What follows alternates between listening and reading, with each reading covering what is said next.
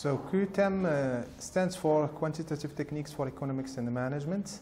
Uh, is uh, a highly selective network uh, master program. It was launched a couple of years ago by uh, Solvay Business School to uh, respond uh, the high uh, or the increase in demand for uh, talent uh, highly uh, skilled with uh, quantitative techniques.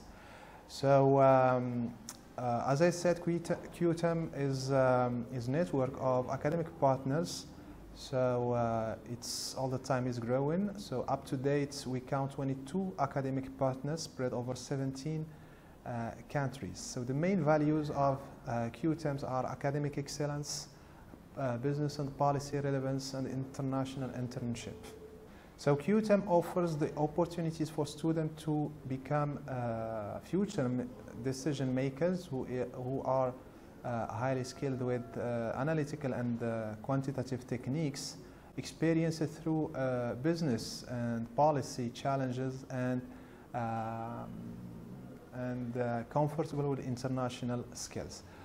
So to resume the advantages of students or of QTEM for students, I will resume them in three points. So the program, the network, and the career.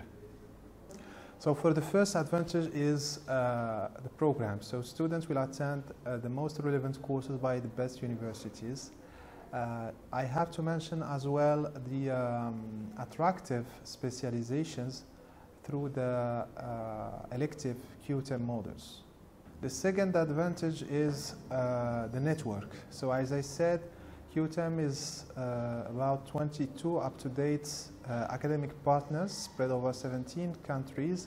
So with this, students are uh, exposed to international experience through the exchange semester.